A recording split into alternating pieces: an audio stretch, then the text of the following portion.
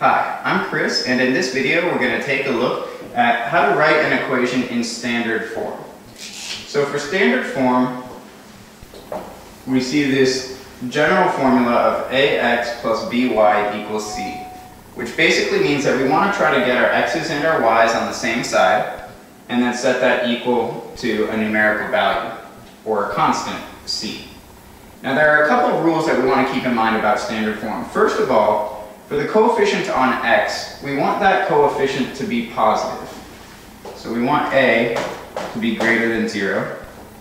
And then secondly, we want all whole number values, or rather integer values on these, which means no fractions. So let's take a look at a line written in slope-intercept form, like we see here in number 1, y equals 1 third x minus 2. And let's see how we could convert that to proper standard form. So first, if there's no fractions, we want to go ahead and try to get rid of our fractions on this, which means if your denominator is 3, we're going to multiply the entire equation by 3 to cancel that out. And when we do that, we distribute the 3 to every term. So we have 3 times y when we multiply 1 over 3 times 3, the 3's cancel, so we're left with 1x, which you can just write as x, or if you're more comfortable, you can put the coefficient in front to keep track of it, but it's a little bit easier if we just view it as x by itself, um, rather than adding in the extra number. And then when we multiply negative 2 times 3, we get 6. So here we have 3y equals x minus 6. Now, for standard form, remember, we want to get our x's and our y's on the same side. So let's move that x over by subtracting x. And that would give us a negative x plus 3y equals negative 6.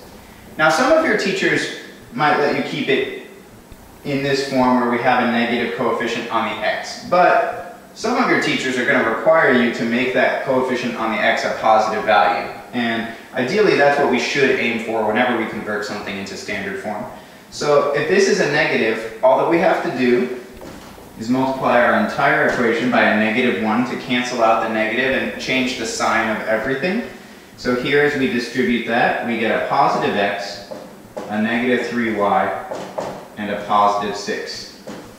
So for proper standard form, x minus 3y equals 6 is what we would end up with as our solution when converting this equation in slope-intercept form into its corresponding standard form. Let's take a look at one more example just to make sure we've got it. So over here, we've added in um, a new challenge where we now have the x on this side, but we have the y on the right side. So we're just switching up the way that this one looked. It's no longer in slope-intercept form. This is just the equation written negative 3x equals 1 fifth y plus 4 that we need to rearrange so that it looks like standard form. So just like we did over here, first things first, we're going to eliminate the fraction.